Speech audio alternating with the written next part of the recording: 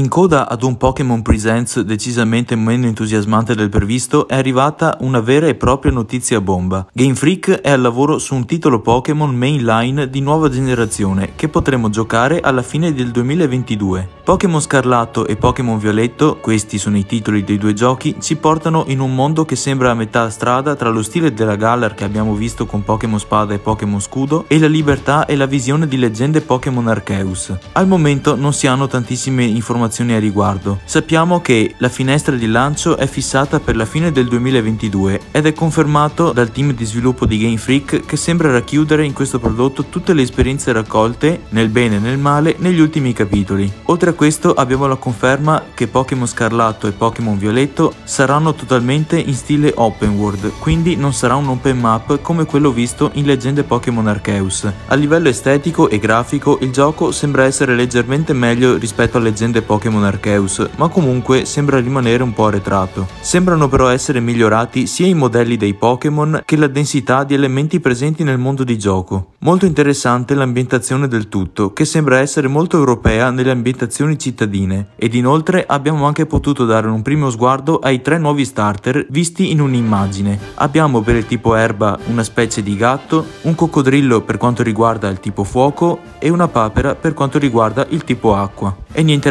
ragazzi, questo era un video abbastanza veloce giusto per informarvi che la nona generazione è stata finalmente annunciata. Fatemi sapere cosa ne pensate qui sotto in un commento e ditemi anche quale di questi tre starter vi è piaciuto di più. Come sempre io vi ringrazio per aver guardato questo video, un saluto e alla prossima!